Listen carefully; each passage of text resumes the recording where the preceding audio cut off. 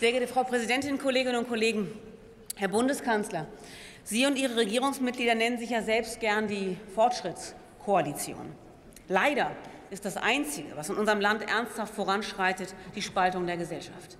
Millionen Menschen wissen nicht mehr, wie sie ihr ganz normales Leben bezahlen wollen. Unsere Wirtschaft droht eine schwere Rezession. In Ihrer Regierung aber herrscht das Chaos.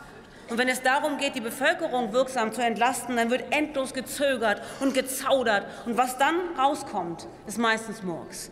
Chaos und Murks bei entspärlichen Entlastungspäckchen, Chaos beim Umgang mit Christian Lindners heiliger Kuh, der Schuldenbremse. Und auch die Atomkraftdebatte hat wieder gezeigt, dass es Ihnen vor allem darum geht, den jeweiligen Befindlichkeiten Ihrer Minister gerecht zu werden und eben nicht um die Belange der Bevölkerung. Aber das geht so nicht. Man stelle sich einmal vor, Sie hätten all die Stunden, die Sie sich sinnlos gestritten haben, dafür genutzt, die Menschen vor der Preisexplosion wirksam zu schützen, indem Sie zum Beispiel den versprochenen Strompreisdeckel eingeführt hätten oder einen vernünftigen Gaspreisdeckel, und zwar jetzt und nicht am Ende der Heizperiode im März. Was ist das denn? Und auch heute haben Sie sich wieder gelobt für Ihre lächerlichen Entlastungspäckchen. Und ich möchte Ihnen dazu eines sagen. Ich meine, Sie als Norddeutscher sollten doch wissen, es reicht nicht, den Deich auf zwei Meter aufzuschütten bei zehn Meter Hochwasser. Da braucht es mehr, um die Katastrophe zu verhindern. Das ist die Wahrheit.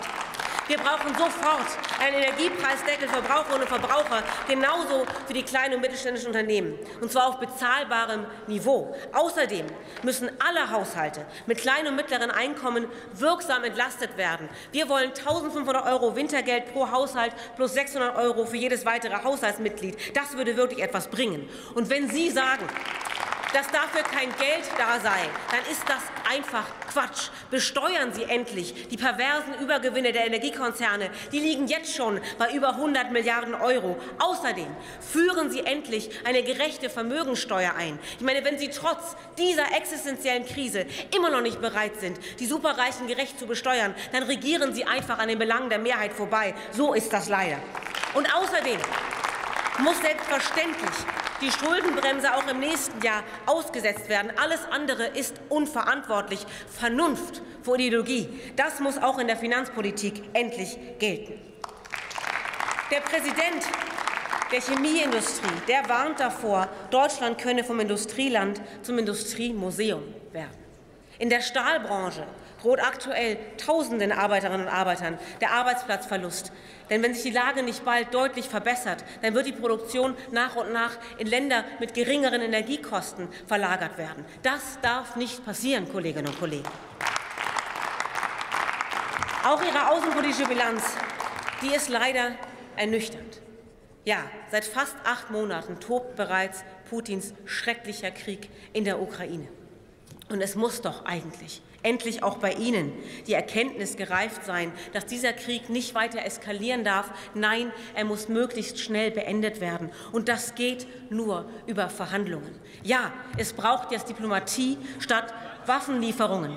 Und es geht eben nicht, und das möchte ich mal in aller Deutlichkeit sagen, dass denjenigen, die das aussprechen, was vernünftig ist, dass denen unterstellt wird, dass sie Verständnis hätten für Putin, das ist einfach Blödsinn. Und es macht das Geschäft genau von denen, die diese Argumente instrumentalisieren für ihre Hetze. Das ist die Wahrheit. Das ist instrumentell. Sie sind doch sonst immer für Aufrüstung und für Militarisierung. Nein, unsere Haltung ist da konsequent. Nur Diplomatie und Vernunft sind der richtige Weg. Und das Gleiche das Gleiche gilt übrigens auch für berechtigte Kritik an den allgemeinen Wirtschaftssanktionen. Fakt ist, diese Sanktionen die schaden Deutschland, der EU und den Ländern des globalen Südens enorm. Russlands Kriegsmaschinerie rollt aber unbeeindruckt weiter. Die russische Wirtschaft ist weiterhin stabil. Herr Scholz, Sie haben selbst versprochen, es würde keine Sanktionen geben, die uns mehr schaden als Russland. Handeln Sie endlich danach. Und bevor Sie uns jetzt weiter oder wiederkommen mit Ihrer angeblichen wertebasierten Außenpolitik, Sie unterhalten beste Beziehungen zu Diktaturen, wie zum Beispiel nach Saudi-Arabien. Dahin liefern Sie jetzt sogar Kampfjets. Kampfjets mit denen die saudische Luftwaffe systematisch Zivilisten im Jemen bombardiert. In diesem schrecklichen Krieg sind bereits 400.000 Zivilisten ermordet worden. Und das Sterben geht weiter. Und Ihre Außenministerin Annalena Baerbock, die sagt dazu allen Ernstes, man müsse ja nun mal die Bündnisverpflichtungen erfüllen. Und ohne diese Lieferung der Kampfjet an Saudi-Arabien müsse Deutschland im sozialen Bereich ja noch mehr sparen. Kampfjets für die Kindergrundsicherung. So stand es treffend im Spiegel. Ich meine, wie zynisch ist das denn? Und wie zynisch ist das eigentlich den Kindern im Jemen gegenüber? Nein, Menschenrechte, die müssen immer und überall gelten und eben nicht nur da und dann, wenn es ihnen geopolitisch in den Kram passt. Dankeschön.